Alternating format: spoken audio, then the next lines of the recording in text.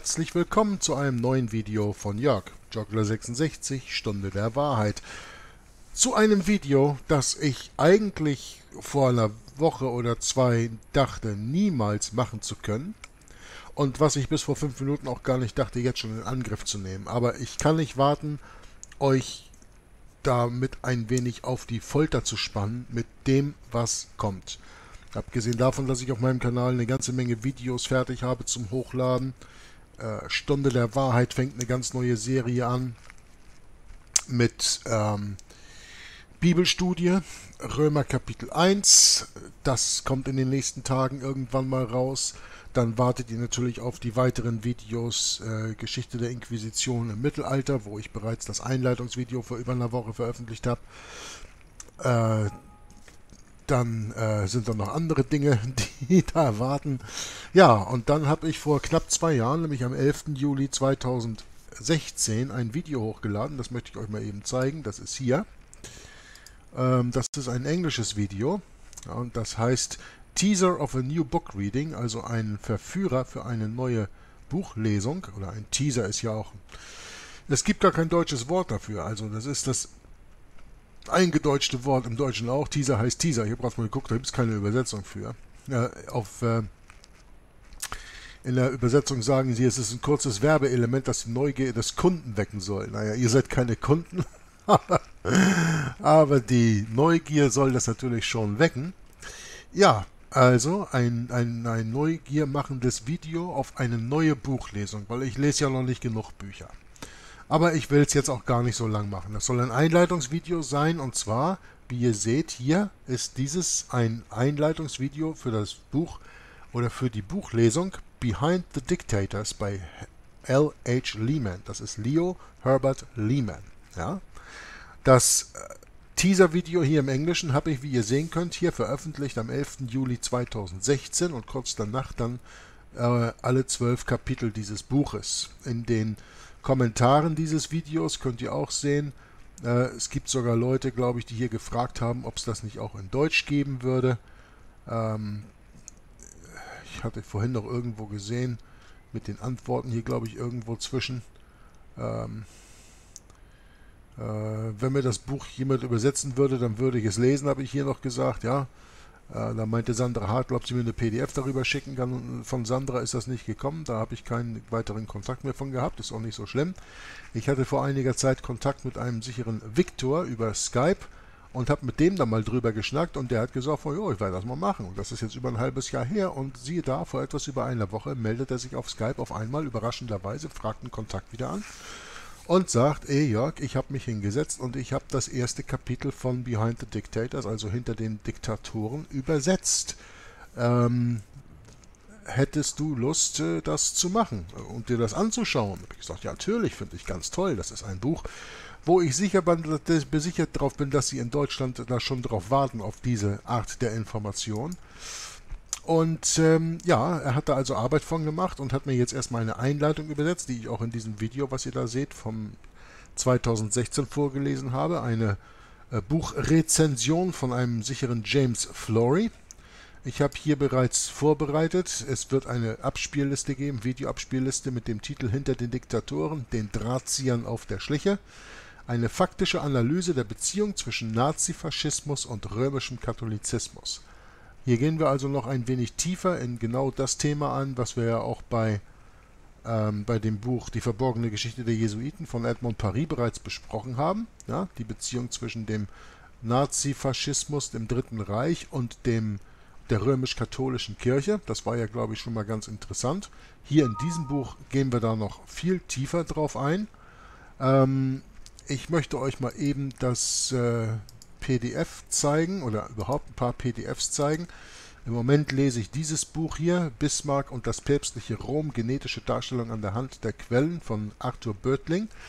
Von diesem Arthur Böttling habe ich mir in der Schweiz aus dem Archiv, äh, aus einem äh, Bucharchiv ein Buch bestellt, das nur 30 Seiten hat und das geht über die Jesuiten in Deutschland in der Zeit des Ende des 19. Jahrhunderts, knapp 30 Seiten. Das werde ich innerhalb der nächsten 14 Tage aus der Schweiz zugeschickt bekommen von demselben Autor. Dieses Buch, Bismarck und das päpstliche Rom, super interessant auf den ersten paar Seiten. Ihr seht, ich bin hier auf Seite 45 von 504 PDF-Seiten schon. Ähm, super interessant soweit, kann ich jedem anraten, sich das mal anzuschauen. Wer das haben möchte, dem werde ich den Link gerne geben zum Runterladen im Internet. Kann man da frei bekommen. Ob ich das auch auf meinem Kanal lesen werde, das weiß ich nicht. Das kann ich jetzt wirklich noch nicht sagen. Aber dann haben wir hier das Buch, das ich lesen werde, Hinter den Diktatoren, den Drahtziehern auf der Schliche, eine faktische Analyse der Beziehung zwischen Nazifaschismus und römischem Katholizismus, müsste römischem heißen, aber kleine Fehler sind da natürlich drin, aber das verzeihe ich dem Viktor und ihr wahrscheinlich auch gerne für die Arbeit, die sich hier gemacht hat. Ja. Wir gehen mal eben das Inhaltsverzeichnis durch und dann werden wir sehen, mit welchen Themen wir uns bei dem Buch Hinter den Diktatoren, den äh, Drahtziehern auf der Schliche, womit wir uns da beschäftigen. Das Inhaltsverzeichnis in Kapitel 1 sehen wir hier Jesuiten, Juden und Freimaurer. Das ist übrigens ein Kapitel, wovon das Video in Englisch über 16.000 Klicks hat in der Zwischenzeit. Ist ja auch vor knapp zwei Jahren, Mitte Juli 2016 hochgeladen gewesen. Und das ist seit Dezember 2017 von YouTube mit einer Warnung versehen. Es gibt keinen äh, Zähler mehr von den, wie oft das Video angeschaut wurde und äh, man kann keinen Daumen hoch und runter mehr geben und man kann keine Kommentare mehr hinterlassen. Das wurde äh, von der YouTube-Gemeinschaft geflaggt als unpassend. Wer das gemacht hat, warum er das gemacht hat, ist mir komplett unbekannt, hat sich auch nie einer erklärt. Das ist ja wie in der Inquisition damals, man kennt seinen Ankläger nicht, man weiß nicht, was er mal angeklagt wird. Das Video ist jedenfalls halbwegs gesperrt auf YouTube, das ist das erste Kapitel dieses Buches. Dann fahren wir fort in dem zweiten Kapitel, das lautet die Jesuiten und die Protokolle von Zion. Ja, da geht es also um die Protokolle der Weisen von Zion, wie man die auch nennt. Und da werden wir dann lernen, dass diese Protokolle der Weisen von Zion überhaupt kein jüdisches Papier sind, sondern ein Papier sind, das die Jesuiten erstellt haben. In Kapitel 3 sprechen wir über den merkwürdigen Fall von Leo Taxil, der eine sehr interessante Person war Ende des 19. Jahrhunderts der sowohl Freimaurer war als auch äh, römischer Katholik, ähm, der sogar eine Audienz beim Papst hatte und was das mit dem auf sich hat und welche äh, Enthüllungen der gebracht hat über zum Beispiel von äh, Albert Pike in seinem Buch Morals and Dogma. Das äh, werden wir dann sehen, wenn wir das Kapitel lesen. Hier ist übrigens ein Bild des Autors Leo Herbert Lehman. Dann Kapitel 4, die Wiederherstellung des Heiligen Römischen Reiches. Ja, ein wenig prophetisch beinahe, um äh, auf das aufzugehen, was wir ja heute haben in der EU, ne, in der Europäischen Union, die ja im Grunde die, das wiederbelebte Heilige Römer, Römische Reich ist, das wir damals 1000 Jahre zwischen 800 mit Kaiser Karl gegründet und 1806 bis zum Ende der Napoleonischen Kriege hatten. Ja. Kapitel 5 Hitler und die katholische Kirche, Hitler und seine Beziehungen, die damit verbunden sind. Kapitel 6 die katholische Kirche und der Ständestaat. Kapitel 7 das größte trojanische Pferd aller Zeiten. Ein super interessantes Kapitel. Gar nicht so lang, ist nur sieben Seiten, aber ich habe es damals geschafft, das eine zwei Stunden Sendung von zu machen, weil ich damals Tom Fress mit eingeladen hatte. Und Tom Fress äh, hat mich damals bei der Lesung begleitet. Nun bei der Lesung dieses Buches werde ich über Skype eine Verbindung herstellen, wie ich das mit Videos schon gemacht habe mit äh, Michael, die ihr letztens gesehen habt auf meinem Kanal hochgeladen, der mir der mich begleitet hat bei meinen Lesungen von dem Griesinger Buch auf dem zweiten Kanal. Und mit der Skype-Verbindung werde ich die dann herstellen mit dem Übersetzer, mit Victor, dass ihr den auch kennenlernen könnt und dass er eben auch seine Meinung und Kommentare zu diesem Buch, zu der Lesung damit zugeben kann. Der wird also anwesend sein. Dann haben wir Kapitel 8 Nazisozialismus und die katholische Rekultivierung, Kapitel 10 Hitlers Kampf gegen die Kirchen, äh, Kapitel 9, Entschuldigung, Kapitel 10 Nationalsozialismus und katholische Aktionen, Kapitel 11 Rexismus und katholische Aktionen. Ja, Rexismus ist euch vielleicht nicht so bekannt, aber Rex war die ähm, belgische nationalsozialistische Bewegung, ähm, mit dem Vorsitzenden, ich komme jetzt nicht auf seinen Namen, das lesen wir, wenn wir in dem Buch sind.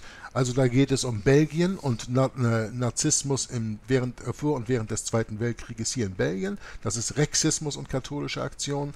Und dann haben wir abschließend noch Kapitel 12, Pro-Germanismus von Pius XII., wovon wir ja inzwischen wissen, Pius XII., Hitlers Papst, Eugenio Pacelli, der damals Nunzio war hier in Deutschland von 1917 äh, bis 1929 und dann Staatssekretär im Vatikan wurde und dann 1939 den Papststuhl übernommen hat. Und der Pro-Germanismus dieses Papstes ist das letzte Kapitel im Buch. Da gibt es auch einen Nachtrag, aber den übersetzt der Viktor nicht. Habe ich auch gefragt, nicht zu machen, habe ich auch im Englischen damals nicht vorgelesen. Und dann gehen wir hier halt in das erste Kapitel. Nun, interessant ist auch, ich habe inzwischen einen Account angemacht auf ähm, archive.org. Ähm, eine super Internetseite, auf der man sehr viele äh, archivierte Bücher finden kann auf der man auch Videos hochladen kann. Ich werde da auch Videos hochladen, weil es da nicht so eine Zensur gibt wie bei YouTube. Wie das genau funktioniert, ich habe jetzt das erste Video hochgeladen ähm, über die Geschichte der Inquisition im Mittelalter. Das könnt ihr euch ja selbst mal anschauen. Ähm, das ist natürlich keine Sozialseite, wie das mit YouTube ist. Weiß ich nicht, mit Kommentatoren und so was, also mit Kommentaren, wie das da läuft.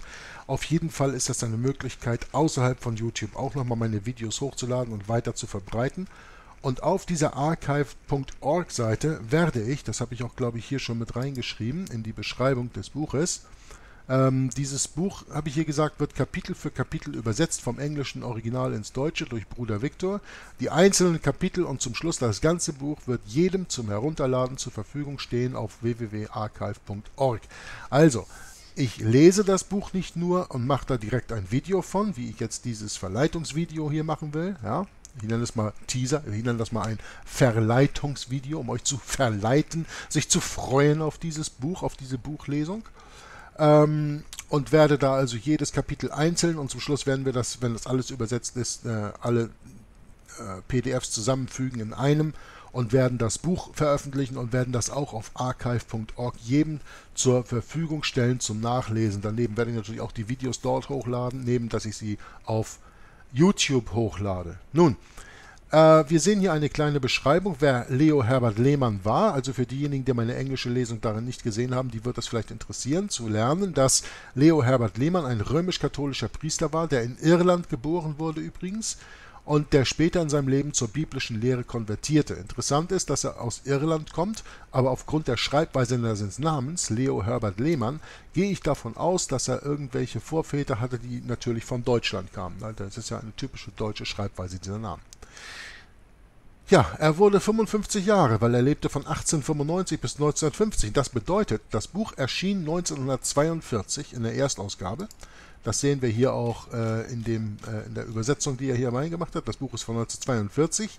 Ähm, die Übersetzung kommt aus der zweiten erweiterten Ausgabe von 1944. Erweitert eben, weil wir hier hinten diesen Anhang haben, den Nachtrag, der normalerweise da nicht bei ist.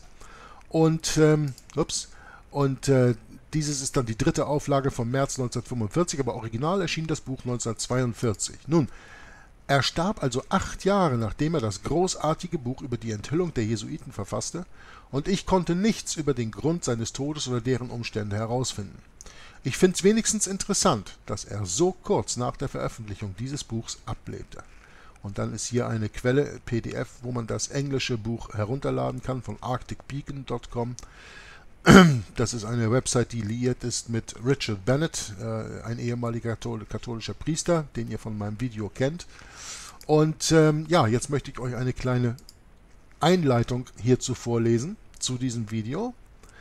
James Florys Buchrezension über Behind the Dictators, also hinter den Diktatoren, den, äh, wie haben wir es hier genannt, äh, den Drahtziehern auf der Schliche. James Flory hat darüber eine Buchrezension geschrieben, die habe ich damals im Englischen vorgelesen, das tue ich jetzt hier im Deutschen auch, weil die hat Victor auch übersetzt und das soll euch dann natürlich ähm, ansetzen, um euch zu freuen auf die kommende extra Buchlesung, die dann auch noch auf meinem Kanal rauskommt. Oder wenn sie nur auf archive.org erscheint, aufgrund von Zeitproblemen oder was auch immer, dann müsst ihr da regelmäßig checken, dann werde ich da Links in meinen Videos mit reintun. Äh, ich möchte da mal eben darauf hinweisen, wenn ich meine Videos produziere in der letzten Zeit, dann habt ihr hier, seht ihr immer so ein kleines i da oben, wenn ihr da hingeht. Wenn ihr da draufklickt, dann seht ihr in diesem Fall hier nur Teil 1, der hier reingelinkt ist, aber hier sind normalerweise fünf verschiedene Berichte. Wenn man jetzt dieses Video schaut, Infused a palpable First-Hand Immediacy. Und dann drückt man hier drauf und klickt hier drauf. Dann passiert, dass man direkt umgeleitet wird. Hier seht ihr, wie das Video gesperrt ist. Ne? Der folgende Inhalt ist durch die YouTube-Gemeinschaft bemerkt als ungepasst oder anstoßgebend für einige Zielgruppen und jetzt hat man die Möglichkeit durchzugehen oder zu annullieren. Wir klicken auf Durchgehen. Das ist jetzt nur bei diesem Video so, das ist nicht Hello bei jedem Video so. so. Und dann seht ihr hier das Video Jesuits, Jews and Freemasons, also Kapitel 1, wie hier steht, Kapitel 1 von Behind the Dictators. Hier ist die Spielliste des ganzen Englischen, wie ihr seht. Jedes einzelne Video damit dran. Der Punkt ist nur, den ich sagen wollte, achtet darauf, wenn ihr meine Videos seht, dass ihr hier immer diese Information habt während des ganzen Videos. Um die 10 Minuten blende ich da irgendwas an. Dann könnt ihr hier runterschauen, könnt ihr nachschauen, was ihr genau gucken wollt, was ich genau da eingegeben habe. Da sind Spiellisten drin, alles drum und dran. Und wenn wir dann im Endeffekt hier zu dem End, Ende des Videos kommen, hier auch, mal eben sehen, dann seht ihr, hier sind auch Anbefehlungen, also ganz zum Schluss. Das heißt, man muss meine Videos schon zu Ende schauen. Und dann seht ihr hier zum Beispiel einen Link in, den ersten, in das erste Video, in, den ersten, in das erste Kapitel. Hier seht ihr einen Link für die Spielliste und hier seht ihr einen Link an eine andere Spielliste, History of the Inquisition. Das ist ein Buch, was ich auf dem zweiten Kanal in Englisch lese. Und das ist bei meinen deutschen Videos auch so. Da sind immer drei, vier äh, Empfehlungen hinten dran. Entweder ist das auch, sich zu abonnieren auf meinen Kanal oder auch zu abonnieren auf einen anderen Kanal, den ich hiermit empfehle. Ähm, wichtig ist, wenn man sich abonniert, das möchte ich nochmal eben dazu fügen. Da könnt ihr hier sehen, äh, ja hier steht jetzt Kanaleinstellungen, weil es ist ja mein eigener Kanal. Äh, wie machen wir das denn mal eben? Da muss ich mal eben zu einem anderen Kanal gehen. Äh, mal eben sehen, wo ich hier einen anderen Kanal habe. Ja, ich will ja jetzt nicht hier diesen ganzen Quatsch. Äh, mal eben, vielleicht hier nehme ich mir mal eben meinen zweiten Kanal hier. Äh, nehmen wir den mal eben hier rüber. So, dann gehen wir da mal eben hin. Dann möchte ich das mal eben zeigen, worauf man achten muss, wenn man sich auf einen Kanal abonniert. Weil es geht ja darum, dass man dann nach Möglichkeit eben auch äh, E-Mails, also nach Benachrichtigungen bekommt, wenn man sich auf einen Kanal abonniert hat. Das ist ja die Idee davon. Das baut sich alles ganz langsam auf. So, jetzt mache ich mal hier eben das weg, dass ich nicht mehr abonniert bin. Ja, ich will mich abmelden. Das ist bei Joggers War und das Info. Das ist mein zweiter Kanal, auf dem ich ja hier die Griesinger Buchlesung hochlade. Hier seht ihr History of the Inquisition, was ihr gerade empfohlen habt. Da sind auch schon über 30 Videos von hochgeladen. Hier sind es die Jesuiten von Theodor Griesinger, die Lesung, die ich im Augenblick mache, die ich hier hochlade. Herrscher des Bösen habe ich hier auch nochmal hochgeladen. Alle elf Teile, der zwölfte kommt da noch und so weiter. Also wenn ihr euch auf einen Kanal abonniert, auf meinen Kanal, dann vorzugsweise, äh, möchte ich nur mal eben sagen, dann geht ihr hier auf Abonnieren, einmal klicken und wenn ihr abonniert geklickt habt, dann steht, dann seht ihr hier oben Abonnement zugefügt und dann seht ihr hier eine Klingel, eine Glocke.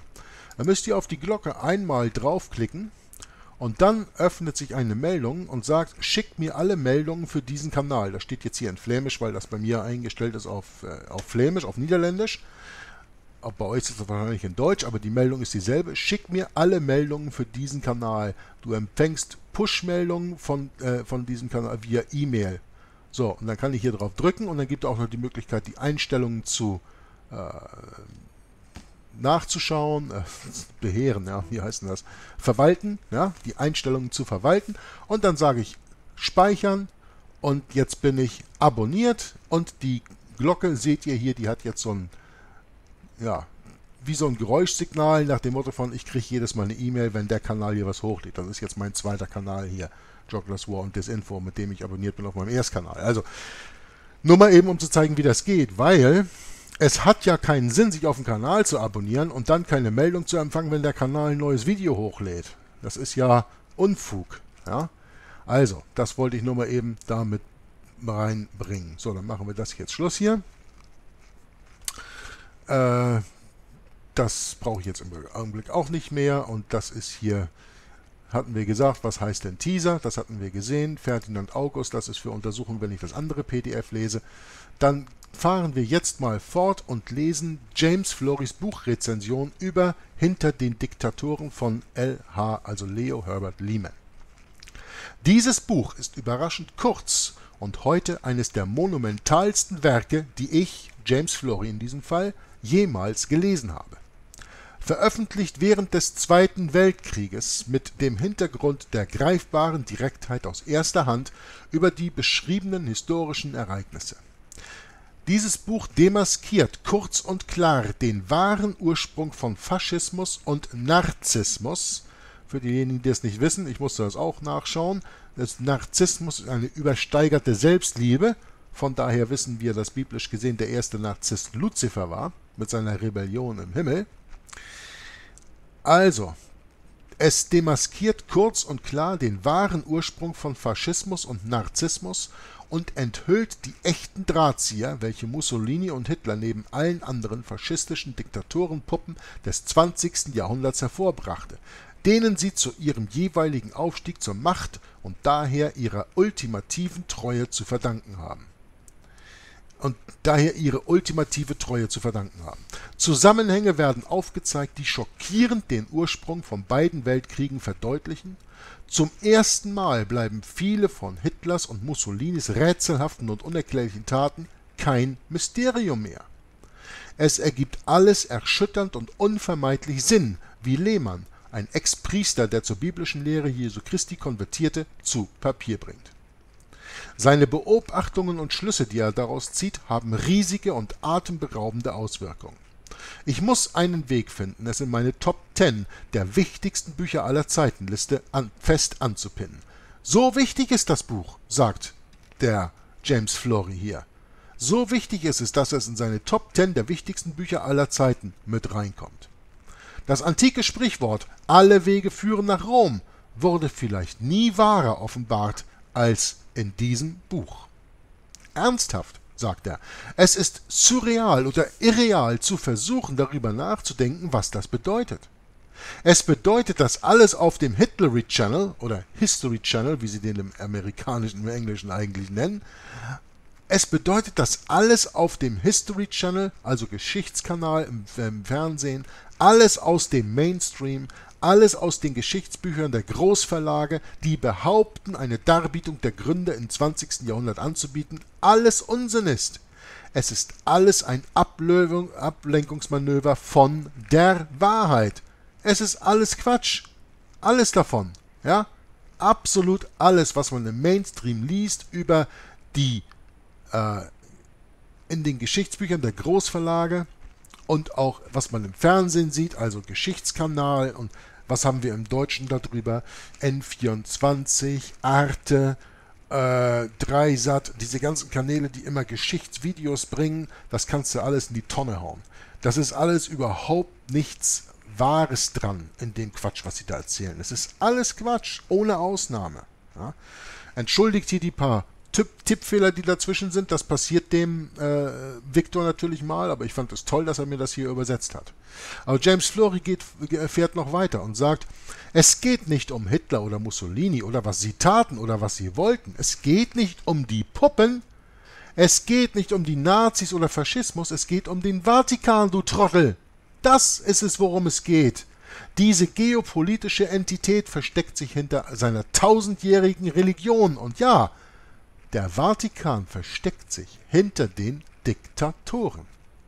Und diese wachsenden Strömungen von dummköpfigen, braun bekleideten und judenhassenden amerikanischen Patriots heute können jetzt aufhören, ihrem römischen Herzen zu dienen. Der James Flory ist natürlich Amerikaner und spricht natürlich über die Amerikaner in diesem Fall, aber das gilt für die Deutschen ganz genauso. Es gibt ja auch noch so einige, die meinen, Hitler war wirklich ein ganz toller Typ. Das sind Leute, die überhaupt keine Ahnung haben, dass Hitler Zeit seines Lebens ein Katholik war und nicht mal exkommuniziert wurde und dass die, das Dritte Reich das einzige, und das sind die Worte von dem damaligen äh, Hitler-Stellvertreter oder besser gesagt zweiten Mann hinter Hitler, Franz von Papen, Malteserritter und Jesuit, dass er sagte, das Deutsche Reich, also das Dritte Reich von Hitler, ist die erste deutsche Regierung, die die Prinzipien der römisch-katholischen Kirche zugepasst hat. Auf diese Art und Weise. Ja, also das war römischer Katholizismus. Und wenn ihr meine Lesung verfolgt von Griesinger, das Buch von 1866 auf dem Zweitkanal, dann werdet ihr auch merken, dass es immer die Jesuiten sind, die hier einen Gottesstaat errichten wollen. Ja, genau dasselbe, was man der ISIS, diesen ähm, diesen Pennern da von der, äh, diesen Islamisten nachsagt. Die wollen einen Gottesstaat errichten und jeder hat den großen Bammel davor. Ja, ja. Äh, das will die römisch-katholische Kirche auch. Ja, man nennt das Dominion Theology im Englischen, also die äh, das Errichten des Gottesstaates auf Erden. Jesus Christus hat aber damals gesagt, mein Königreich ist nicht von dieser Welt. Wäre mein Königreich von dieser Welt, dann würden meine Menschen für mich kämpfen oder meine Leute für mich kämpfen. Das sagte er. Aber der Papst richtet natürlich hier auf der Welt sein Königreich auf, sein antichristliches Königreich, weil der Papst ist der Stellvertreter des Teufels. Um es mal ganz klar zu sagen, wie Martin Luther das ja auch sagte in dem Buch, das ich gelesen hatte, ähm, wieder das Papsttum zu Rom vom Teufel gestiftet, wie ihr euch erinnern könnt. Gibt es ja eine eigene Spielliste von, könnt ihr euch, ah ne, ist eine Spielliste von Luther 2017, könnt ihr euch ja mal anschauen. Da findet man das drin. Ja? Also der James Flory spricht natürlich jetzt durch die amerikanische Brille und sagt, ähm, diese wachsenden Strömungen von dummköpfigen, braun bekleideten und judenhassenden amerikanischen Patriots heute können jetzt aufhören, ihren römischen Herren zu dienen, weil das tun sie. Sie dienen einem römischen Herren. Und genau dasselbe kann man jetzt in Deutschland sagen von diesen ganzen, diesen verschiedenen Parteien hinterherlaufenden Idioten ob das jetzt in Deutschland die NPD ist oder die AfD oder welche Rechtspartei auch immer, das ganze Spiel rechts-links ist ja immer nur die Flügel des Vogels bestimmen nicht die Richtung. Und politische Parteien sind ja immer nur Flügel. Ne? Auf der einen Seite hast du die Linken, auf der anderen Seite hast du die Rechten. Hast den rechten Flügel und den linken Flügel. Aber die Flügel bestimmen nicht die Richtung des Vogels, das tut der Kopf. So, und wenn ich immer nur auf die Flügel schaue, dann begreife ich nicht, was der Kopf tut. Und das ist genau das, was Flori hier auch meint. Diese äh, dummköpfigen, braun bekleideten und judenhassenden amerikanischen Patriots, und die gibt es in Deutschland ganz genauso, können jetzt aufhören, ihrem römischen Herren zu dienen, wenn sie denn mit ihrem geistesschwachen Mundschäumen für einen Moment aufhören und tatsächlich dieses und andere unwiderlegbare historische Fakten lesen. Also dieses Buch lesen und andere unwiderlegbare historische Fakten lesen. Ja, richtig. Als ob das jemals passieren würde, fügt er sarkastisch dazu. Jedenfalls zerstört Leo Herbert Lehmann die Mythologie hinter den gerühmten Protokollen der gelehrten Weisen von Zion. Das tut er nicht so, aber ich werde es euch erklären in diesem Buch, wie ich damals bei Die verborgene Geschichte der Jesuiten auch schon getan habe und werde euch aufzeigen, dass es der Jesuitenpater Baruel war, der die äh, Protokolle von Zion geschrieben hat. Jedenfalls sagt äh, Flori hier, Lehmann zerstört die Mythologie hinter den gerühmten Protokollen der gelehrten Weisen von Zion und veranschaulicht die jesuitische Handschrift, nicht die zionistische Handschrift. Ja. Mit Sicherheit, also mit zionistisch meint er hier natürlich jetzt das jüdische, aber die größten Zionisten sind natürlich die Jesuiten, weil die haben dafür gesorgt, dass überhaupt der Staat Israel entsteht, weil sie ihn brauchen für ihre für ihr Theater der 70. Jahrwoche von Daniel, die Jesus Christus vor 2000 Jahren erfüllt hat, nochmal zu, zu, herzuspielen. Erinnert euch bitte mein Video Der größte Betrug seit dem Garten von Eden oder schaut es euch an, das findet ihr auf meinem Kanal. Das sind drei Teile, glaube ich, äh, in denen ich da drüber gehe. Der größte Betrug seit dem Garten von Eden, zwei oder drei Teile. Schaut euch das an und ihr werdet lehren, dass ähm, die zionistische Bewegung jesuitische Bewegung ist, römisch-katholische Bewegung ist und dass der größte Zionist der Papst ist und dass äh, unter anderem Herzl, der Begründer des Zionismus im 19. Jahrhundert, ein jesuitengeschulter Jude war. Lehmann vergleicht die heimtückische Gegenwart und unwahrscheinliche Akzeptanz von römischem Katholizismus in den Vereinigten Staaten mit einem gigantischen metaphorischen trojanischen Pferd, das sagenhaft bedrohlichste trojanische Pferd, das jemals in eine Republik oder Demokratie eingeschleust wurde. Er spricht hier natürlich über die Vereinigten Staaten von Amerika. Wir werden dann während der Buchlesung die Dinge zupassen auf Deutschland, dass wir das auf die Art und Weise gut verstehen. Und Lehmann hatte recht. Wie so viele kreischende, sirenenklingende Cassandras vor Jahrzehnten in Amerika und in Europa, wovon man auch noch nie gehört hat. Lehmanns Werk ebenfalls vergriffen. Übrigens, ja, das Buch Behind the Dictators könnt ihr gerne mal suchen. Ich habe es bis jetzt noch nirgendwo gefunden, dass man es kaufen kann. Gibt es nur als PDF. Verdrängt, ignoriert, jetzt aber komplett vergessen. Dieses Buch ist komplett vergessen. Im Englischen und im Deutschen ist es nie erschienen. Und deswegen bin ich dem Viktor so dankbar, so unglaublich dankbar, dass er sich da hingesetzt hat und dieses Buch, Buch übersetzt hat. Also das erste Kapitel hat er zumindest schon mal gemacht. Wenn es hier geschieht, also in die Vereinigten Staaten von Amerika, wenn es hier geschieht, und danach sieht es momentan aus, ist eins gewiss. Wir werden bekommen, was wir verdienen. Und das werden wir Deutschen auch. Wir werden auch bekommen, was wir verdienen, weil wir nicht aus der Geschichte lernen wollen. Ja? Weil wir nicht die Konsequenzen daraus ziehen aus der Sache, die in der Vergangenheit geschehen sind. Und warum tun wir das nicht? Weil uns die Geschichte nicht erklärt wurde, weil uns die Geschichte nicht gelehrt wurde.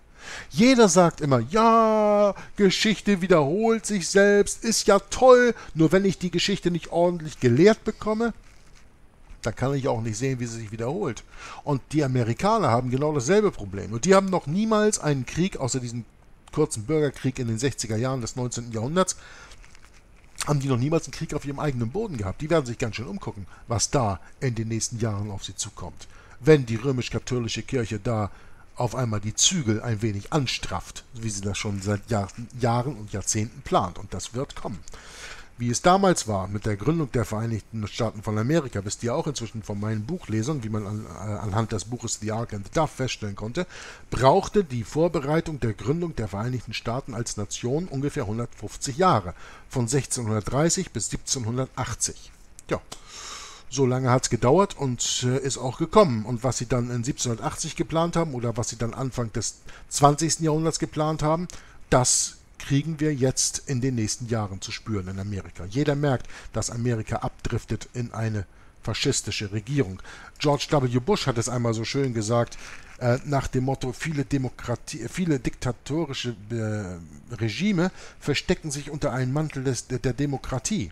Tja, ähm, das ist in Amerika nicht viel anders. Amerika wird seit Jahrzehnten nur noch durch Executive Orders vom Präsidenten im Grunde ähm, regiert. Ja. Also, natürlich ist das hier jetzt ein wenig amerikanisch eingefärbt, aber nichtsdestotrotz, wir werden sehen, wenn es hier geschieht, auch hier in Europa, Wonach es im Augenblick aussieht, eins ist dann gewiss, wir werden bekommen, was uns zusteht. Und das gilt sowohl für Amerika als für die Vereinigten, äh, Vereinigten Staaten von Europa, wollte ich gerade sagen, für die Europäische Union, weil wir die Bibel nicht mehr kennen und weil wir die Geschichte nicht mehr kennen. Und wer das ein wenig mehr kennen will, ja, der ist gerne willkommen auf meinem Kanal. So, hier haben wir also dann das Buch, bereits den, das erste Kapitel, das hier der Viktor bereits übersetzt hat, hinter den Diktatoren auf Suche äh, den Drahtziehern auf der Schliche, Kapitel 1, Jesuiten, Juden und Freimaurer. Und das wird dann das erste Video sein dieser neuen Lesung, die ich dann machen werde. Ja, ich mache einige neue Lesungen, es kommt fast jeden Tag was Neues dazu. Ich weiß schon gar nicht mehr, wo ich überhaupt noch bin. Ich weiß nicht mehr, wo mir der Kopf steht von diesen ganzen Büchern, die ich reinkriege und wichtige Informationen und Videos zu machen. Aber ich kriege das schon irgendwie auf die Reihe. Der Punkt ist nur, schaut euch das an und dann verteilt es. Ja? Verteilt es auf sozialen Netzwerken, verteilt es über YouTube, ladet meine Videos auf euren Kanälen wieder hoch. Wenn da kein Geld mit verdient wird und wenn meine Videos nicht verändert werden, dann appelliere ich an jeden, der diese Videos schaut und gut befindet, dass er das auch auf seinem eigenen Kanal wieder hochlädt. Kostet doch nichts. YouTube ist gratis. Vimeo ist gratis.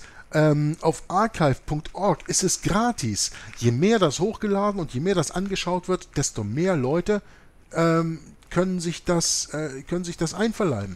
Ich meine, die verborgene Geschichte der Jesuiten, den ersten Teil, die, die, das Einleitungsvideo ist auf meinem Kanal gerade mal 14.000 Mal angeschaut.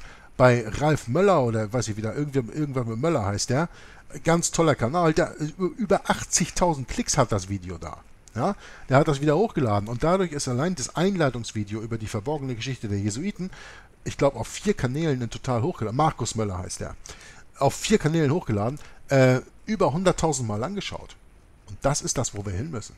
Wir wollen die Leute aufwecken. Wir wollen die Leute aufwecken zur biblischen Wahrheit. Und dafür müssen sie einerseits die Bibel kennen. Und da hoffe ich mit meinen anderen Videos auch für zu sorgen. Und auf der anderen Seite müssen sie die Geschichte kennen. Und dafür kommt dann die Buchlesung des Buches Hinter den Diktatoren. Hier das englische Original von Leo Herbert Lehman Und das wird dann mein nächstes Seitenprojekt, das ich auf dem ersten Kanal noch neben all den anderen Dingen mache, die da kommen. Und ich hoffe, dass ich euch dafür habe interessieren können, der Videolesung dann zu folgen. Und ich danke euch fürs Zuhören und Zuschauen für dieses Video. Auch dieses, bitte verteilt es so weit und breit wie möglich. Teilt es mit eurer Familie, teilt es mit euren Freunden, Arbeitskollegen, auf sozialen Netzwerken wie Facebook und Twitter und was weiß ich nicht noch, was es alles gibt. Lädt es auf, ladet es auf euren YouTube-Kanälen hoch und ihr werdet sehen, der Heilige Geist wird euch dafür belohnen. Eine Belohnung in dieser Welt werden wir alle für diese Dinge nicht bekommen. Nur Verfolgung wird uns ausstehen. Aber das hat Jesus Christus uns ja bereits vorhergesagt, dass wir Tribulationen, dass wir Unbequemlichkeiten haben in dieser Welt, wenn wir seinen Namen und seine Wahrheit verkündigen. Und das ist der Job von Stunde der Wahrheit. Und das sollte dann auch, wenn ihr damit mit der Berichtgebung auf meinem Kanal einverstanden seid, dann sollte das auch eure äh, Aufgabe sein, sich mit diesen Dingen zu beschäftigen. So, jetzt ist das Video doch viel länger geworden, als ich wollte. Trotzdem, ich danke fürs Zuhören und Zuschauen und bis zum nächsten Mal. Maranatha.